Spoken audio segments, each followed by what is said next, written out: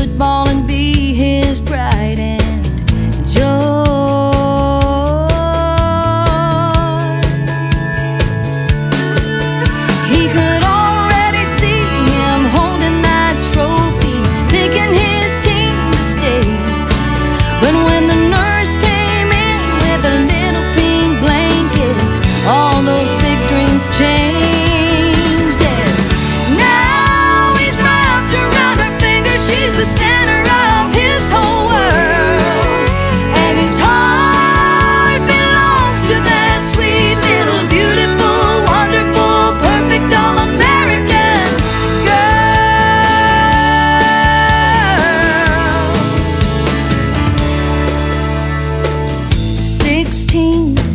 40 years later,